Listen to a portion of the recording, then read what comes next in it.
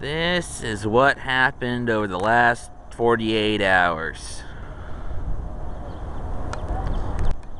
The mighty Wabash River finally decided to flood the field in front of our home.